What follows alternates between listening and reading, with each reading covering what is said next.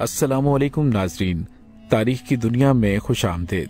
मुझे डॉक्टर अली कहते हैं, और नाजरीन, आज की वीडियो में हम आपको दिखाएँगे कि कुरान मजीद में गलतियाँ ढूँढने की कोशिश करने वाला और कुरान मजीद को चैलेंज करने वाला गैर मुस्लिम कैसे इस्लाम कबूल करके एक सच्चा पक्का मुसलमान बन गया। वीडियो की तफसील में जाने से पहले हमारे चैनल को सब्सक्राइब कर लीजिए और बेल आइकन को ज़रूर दबा दीजिएगा, ताकि हमारी आने वाली वीडियोस सबसे पहले आप तक पहुँच सकें। नाजिन बिलाशुबा, कुरान मजीद गलतियों से पाक मुकदस किताब है, और किसी इंसान के बस की बात नहीं कि इसमें कोई गलती डाल सके या फिर गलती पकड़ने की कोशिश करे, क्योंकि ये वाहिद इल्हामी किताब है, जिसकी हिफाजत का जिम्मा अल्लाह ताला ने खुद अपने जिम्मे ले रखा है। नाजिन 1977 में एक कैनेडियन प्रोफेसर गैरी मिलर ने कुरान मजीद में कोई खामी तलाश करने का एक ला हासिल इरादा किया। और मुकदस किताब का बगौर मुताला शुरू कर दिया। गैरी मिलर टोरंटो यूनिवर्सिटी में पढ़ाता था और ईसाई मुबलिक भी था। उसका ख्याल था कि कुरान मजीद में खामी ढूंढ लेने से मुसलमानों को ईसाइत पर लाने में मदद मिलेगी। उसे उम्मीद थी कुरान 1400 सदी पहले लिखा गया और इस एतबार से बहुत ही पुरानी किताब है। उसमें सिर्फ़ सहरा और बयाबान का तस्करा होगा, लेकिन कुरान करीम पढ़ने के बाद वो हैरानों परेशान रह गया, क्योंकि उसने कुरान पाक को अपनी सोच के बिल्कुल बरक्स पाया और उस पर यह इंकशाफ होता चला गया कि इस किताब मुकदस में ऐसी ऐसी चीज़ें मौजूद हैं जो दुनिया की किसी दूसरी किताब में नहीं पाई जाती। कुरान मजीद के पढ़ने से पहले वो इस बात की भी तो कर रहा था इस किताब मुकदस में बाज अलमनाक वाकयात होंगे, जो नबी पाक सल्लल्लाहु अलैहि वसल्लम के हयात मुबारक में पेश आए थे। जैसा कि नबी पाक सल्लल्लाहु अलैहि वसल्लम की जौजा मोहतरमा उम्मुल मोमिनीन हज़रत खदीजा तुलकुबरा सलामुल्लाह अलैहा की वफात का वाक़ या औलाद नरीना के बचपन में ही फौत हो जाने के वाक़े को कुरान ने बयान किया होगा।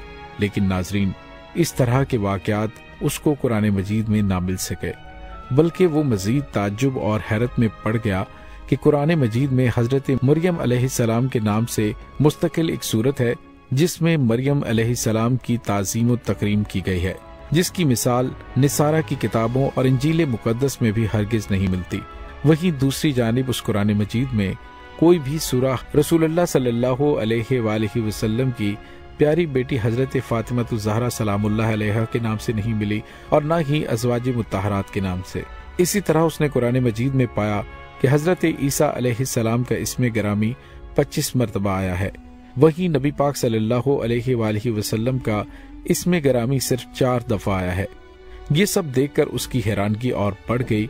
डॉक्टर ब्लेयर कुरान मजीद को मजीद गौर फ़िक्र से पढ़ने लगा, ताकि उसे इसमें अपने मतलब की चीज़ मिल जाए। लेकिन सूरत निसा की आयत नंबर बयासी पर पहुँचा तो एक उसे झटका लगा। क्या वो कुरान में गौरव फ़िक्र नहीं करते? अगर ये कुरान गैरुल्लाह की तरफ़ से होता, यकीनन इसमें बहुत से इख्तलाफात पाते। डॉक्टर मलेयर उस आयत के बारे में कहता है कि मौजूदा दौर के साबित शुदा इल्मी नजरियात में है कि आप किसी इल्मी नज़रिए में गलती तलाश करें और गलती साबित करने के बाद लोगों को गलत नज़रिए के बारे में बताएँ ताकि लोग उस नज़रिए को ना माने और इससे दूर रहें। लेकिन कुरान करीम का अजब ही मामला है, वो तो बराहरास्त मुसलमानों और गैर मुस्लिमों को चैलेंज करता है कि कुरान में गलती ढूंढ निकालें। फिर कुरान करीम खुद कहता है कि तुम गलती नहीं निकाल सकते। डॉक्टर मिलेयर का कहना है कि दुनिया के अंदर ऐसा कोई मुसन्फ नहीं जो इस जुर्रत और बेबाकी से कह सके कि मेरी किताब में कोई गलती नहीं है। इसके बरक्स कुरान मजीद इस बात का खुलेआम चैलेंज करता है कि अगर इंसान जिन्नात इस बात पर जमा हो जाएँ, इस कुरान के मिसल ले आए हर किस वो नहीं ला सकेंगे। गरचे दोनों आपस में एक दूसरे की इस बात पर मदद भी कर लें। डॉक्टर मिलेयर ने सूरतुल अंबिया की आयत नंबर तीस को भी खूब गौर से पढ़ा और उसकी गहराइयों में उतरता चला गया। क्या काफिर ये नहीं देखते कि ज़मीन आसमान एक दूसरे से जुड़ा हुआ था फिर हमने दोनों को एक दूसरे से अलग कर दिया और हमने पानी से हर चीज़ को ज़िंदा किया। काफिर अब भी ईमान नहीं लाएँगे। डॉक्टर मिलेयर ने कहा कि यही आयत करीमा साइंसी तहकीक का मौजू था, जिसमें उसने नोबेल इनाम जीता था। ये वाक्य 1973 का है। वो नज़रिया ये है कि कायनात का वजूद एक बड़े धमाके के नतीजे में हुआ था, जिसमें आसमान, ज़मीन और क्वाकिब सब एक दूसरे से अलग हो गए थे। आयत करीमा के आखिरी हिस्से में कहा गया कि पानी इस दुनिया रंगो बू में सरचश्मा हयात है। डॉक्टर मलेयर का कहना है कि ये बात बहुत हैरान कन है कि जदीद साइंस ने आखिर में ये बात साबित कर दी है कि ज़िंदा खुलिया साइटोप्लाज्म का मरकब है, जो बुनियादी तौर पर पानी के अज्जा में 80 फ़ीसद पाया जाता है। फिर कैसे एक इंसान 1400 साल कबल सामने आया और ये सब बातें आसमानी वही के बगैर जानता हो? डॉक्टर गैरी मिलर ने बाद में इस्लाम कबूल कर लिया, अपना नाम अब्दुल आहद रखा। अल्लाह ताला ने उसको हदायत दी जो कि पहले दावत अल निसरानिया में मशगूल रहा था। अब अल्लाह की दावत में अपनी ज़िंदगी को उसने वक्फ कर दिया। पूरी दुनिया में जगह जगह महाजरात और लेक्चर्स देता रहता है।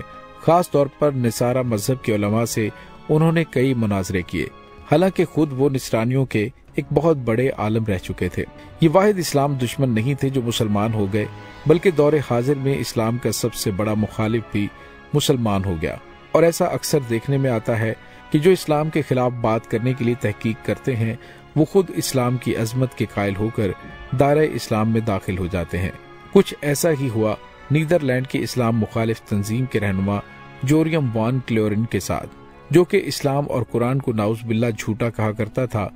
जोरियम बॉन एक ऐसी किताब लिखने जा रहा था, जिसमें कुरान और इस्लाम पर तनकीद की जानी थी। लेकिन हुआ कुछ यूँ कि जब उसने इस बारे में मुताला शुरू किया तो उन्हें इस्लाम से प्यार हो गया। ये खबर जब दुनिया की नज़र से गुजरी तो इंतहाई हैरत का बायस बनी थी। आमतौर पर कोई इस्लाम में दाखिल हो या छोड़े तो उसे इस हद तक अहमियत नहीं दी जाती, जो कि उन्हें मिली। लेकिन नीदरलैंड के इस सबक इस्लाम मुखालिफ तंजीम के रहनुमा की खबर ने दुनिया में तवज्जो ज़रूर हासिल की। दरअसल पीवीवी पार्टी से ताल्लुक रखने वाले जोरियम वान समेत पार्टी का हर मेंबर इस्लाम से मुतलिक मनफी पॉइंट निकालता था। और इसी बिना पर तनकीद किया करता था। अपने एक इंटरव्यू में जोरियम ने बताया कि जब वो ये किताब के लिए मुताला कर रहे थे तो उन्हें मालूम हुआ कि इस्लाम से मुतलिक वो किस हद तक गलत नज़रिया रखते थे। चालीस साल जोरियम वान ने इस्लाम कबूल किया और अब वो मुसलमान हैं, जबकि दीनी तौर पर अपने आप को मसरूफ रखे हुए हैं।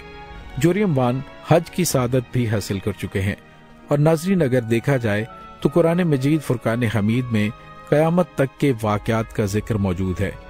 यहाँ तक कि 9/11 को होने वाले वाक़े का ज़िक्र भी कुरान मजीद में मौजूद है। नाजीन इसमें कोई शक नहीं, ये एक लारेब किताब है और कायनात की हर चीज़ का इल्म इसमें मौजूद है। नाजिन कैसी लगी आपको हमारी आज की वीडियो? कमेंट सेक्शन में अपने ख्याल का इजहार ज़रूर कीजिएगा। इसके साथ ही डॉक्टर अली को इजाज़त दीजिए। इनशाला बहुत जल्द मिलते हैं एक नई वीडियो में।